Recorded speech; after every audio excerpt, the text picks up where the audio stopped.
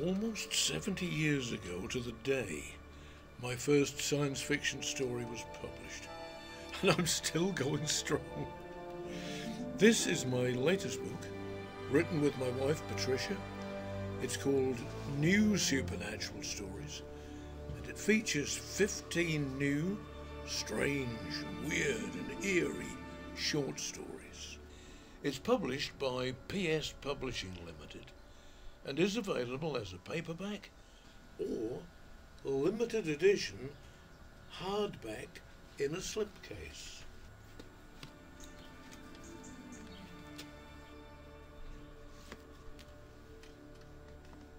It's available from all the usual outlets or check out the publisher's website at www.pspublishing.co.uk.